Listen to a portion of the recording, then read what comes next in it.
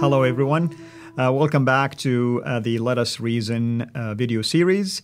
Uh, as I mentioned before, this is an apologetic series, and uh, I am so excited that I ha- launched this particular series with my dear brother Sam Shamoun, who's with me here in studio. And we've been going through really what we call the Tawheed dilemma. And the reason why we did that is we wanted to refute the idea that, according to supposedly the doctrine of Tawheed, Allah of the Quran is one in essence and one in person. So far, we have proved that according to the Quran, according to the Quran alone, Allah has other partners, like the Holy Spirit, for instance, and Jesus in this case as well. Right. So today we're going to talk about uh, the virgin birth and the sinlessness of Christ. right. Welcome aboard.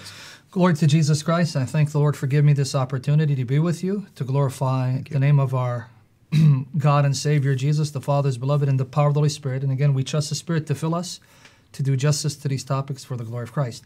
now, what we're trying to do in these series is to show, like you said, the Quran, not Islamic theology, the Quran doesn't teach Tawheed. And the Quran presents a contradictory, if not confusing, picture regarding issues such as the person of Christ.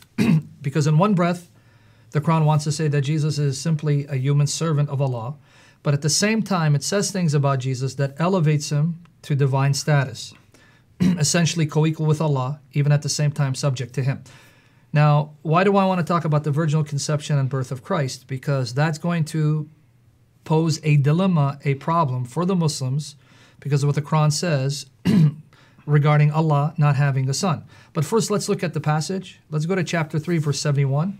As the Lord guides us by His Spirit, and clears, uh, clears my throat. And we're going to see it right now on the screen. Yep. Now, notice what it says here in 347. It says, Lord, this is Mary speaking Correct. to the angels. The Quran says that a group of angels came, announced to Mary that she's going to conceive and give birth to the Messiah, Jesus. Because in the previous session, we saw that Allah gave her glad tidings of a word from Him, 345, whose name is the Messiah, Jesus, son of Mary. Ismuhu, Ismuhu, which Correct. is masculine, even though kalimat is feminine. That's right. You elaborated on that in the previous session. Correct. Now she asks a logical question. she's not married, she's a virgin, a chaste virgin. She says, How shall I have a son, seeing no mortal has touched me? Pay attention to that language. How shall I have a son, seeing no mortal has touched me? Even so, God said, God creates what he will. When he decrees a thing, he does but say to it be, and it is.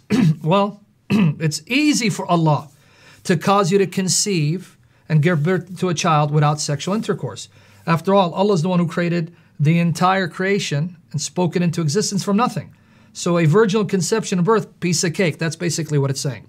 So in saying this, it's pretty much agreeing with the biblical teaching that the Blessed Mother of our Lord Jesus conceived by the power of the Holy Spirit and gave birth to her blessed, glorious Son while a chaste virgin sexually. Now let's go to the other reference that touches upon Jesus' virginal conception and birth.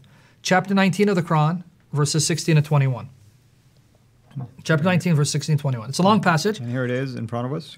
Now it's long, but again, I'm going to read it so that people can follow the train of thought.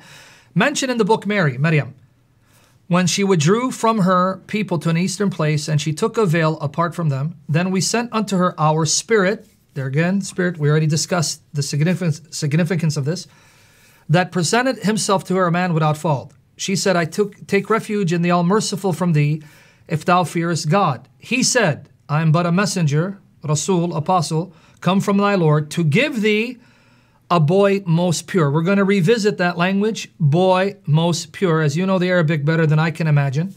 It's Ghulaman Zakiyan. Zakiyan. Zakiyan. That's correct, yeah. Pure, holy, faultless son. We'll revisit that a little later. Notice the response again.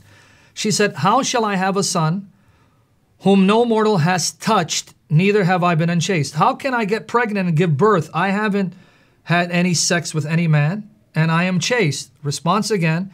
He said, Even so, thy Lord has said, Easy is that for me, and that we may appoint him, Jesus, ayat, unto mankind, and a mercy from us, it is a thing decreed. So, in both chapter 19 and chapter 3, we have the Quran affirming the virginal conception and birth of Jesus Christ. Now, you may be wondering why I keep saying birth. Because co- someone can say, She conceived as a virgin, but she didn't remain a virgin because she married Joseph and had intercourse before she gave birth to Christ.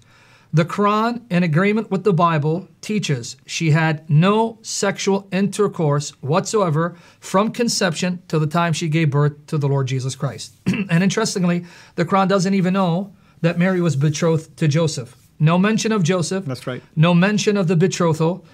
And this may be interesting to people from, let's say, a Catholic, Orthodox, or one of these traditional Christian backgrounds. One of the names of Mary in Islam is Al Batul, meaning the Virgin. That's right. Because in Islamic tradition, she remained a virgin. They affirmed the perpetual virginity of Mary. So not only did she conceive and give birth to Christ while a virgin, she remained a virgin throughout her entire earthly life. Now, with that said, why is this passage astonishing? Do you remember what Mary said? Supposedly said, because again, as we stated in previous shows, we do not believe the Quran is the actual word of Allah, meaning the true God. I keep saying Allah, forgetting that for most people, Allah is not the term they would use for God. That's right. But if you're speaking Arabic, that's the only term you'd use even for the God of the Bible. We don't believe the Quran is a true word of the true God, nor do we believe that the Quran contains the actual conversations of the prophets of Mary or Jesus. But with that said, notice the response in 347 and in 19, verse 20 is, How can I have a son seeing no man has touched me? You Yeah. know what's astonishing about that? And, and we can show the slide one more time, uh, and uh, for, for yeah, if you want, to yeah. follow it. You notice it? It's it's bold in there, right? Here it is.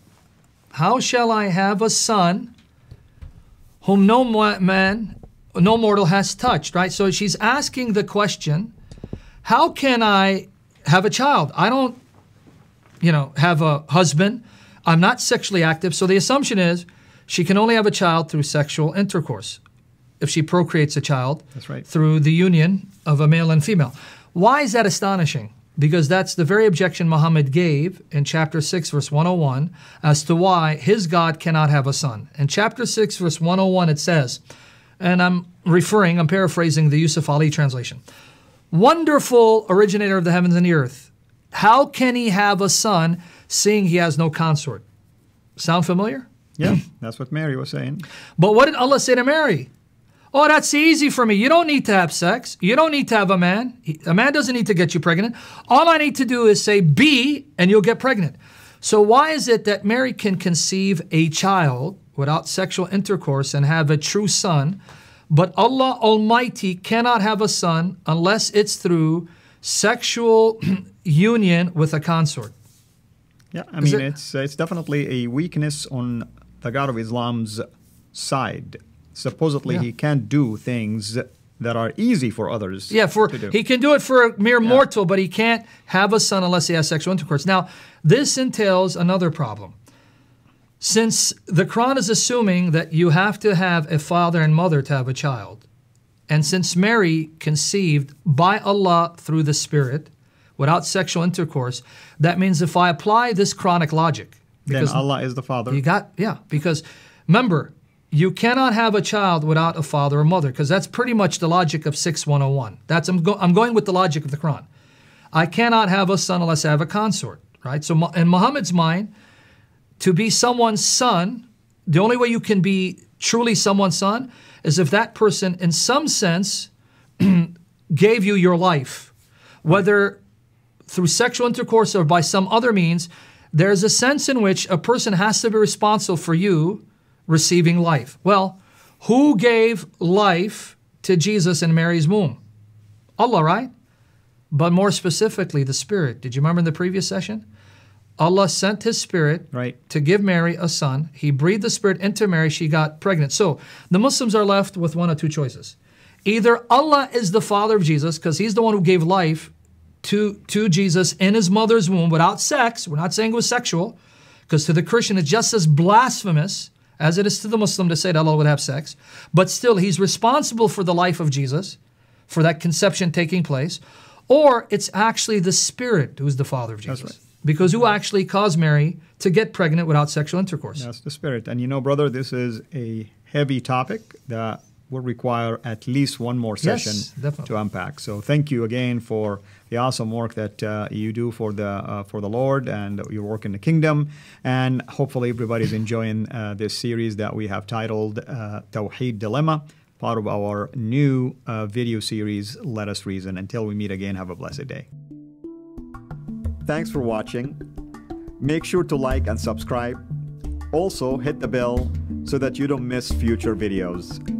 And please consider becoming a patron at patreon.com forward slash CIRA International. And together we can introduce Muslims to the gospel of Jesus Christ.